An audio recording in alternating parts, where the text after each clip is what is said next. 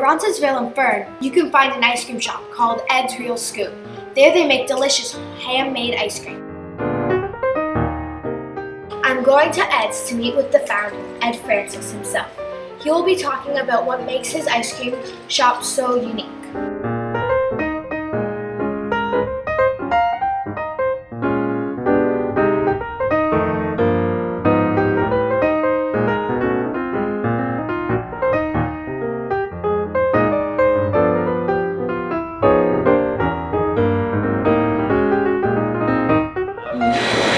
I got married to a Canadian in 1987. Uh, and before we got married, uh, I was living in Boston and she was living in Toronto.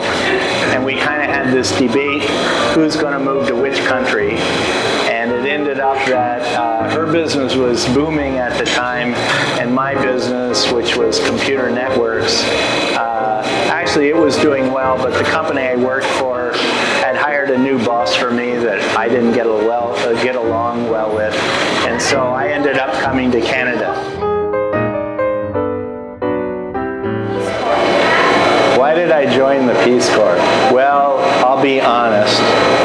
When I graduated from university,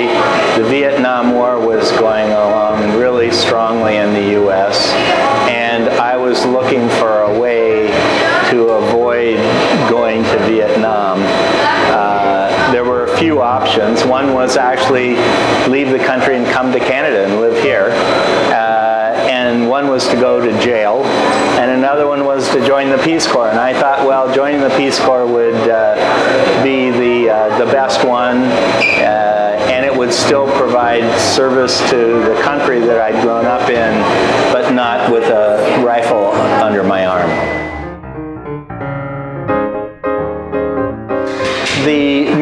ice cream is actually fairly expensive. Like our ingredients that we use to make one of those tubs of ice cream that you see in the ice cream dipping cabinet, the, our ingredients probably cost as much as if you bought a tub from Sealtest or some factory like that. We use the best ingredients we can find. We use the best cream and milk and we use the really expensive stuff we use are Belgian chocolate, we use fruit purees which are the best we can find which happen to also be the most expensive.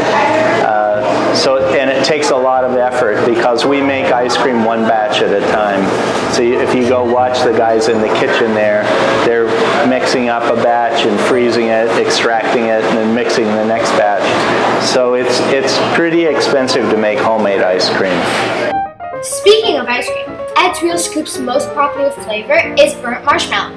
Did you know that Ed created the flavor by mistake? He was trying to make candy for Christmas, but then he burnt the tray. An employee had the idea of putting the burnt candy with their sweet cream ice cream, and there they had it. All of the stores uh,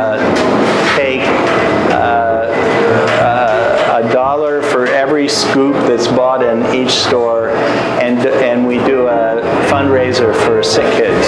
Uh, you'll see a sign about on one of the shelves back there. So each year we donate uh, basically, I think, a couple of two or three thousand dollars uh, to sick kids for to support them. After the interview, I decided to get a sweet treat for myself. Mmm, that looks good.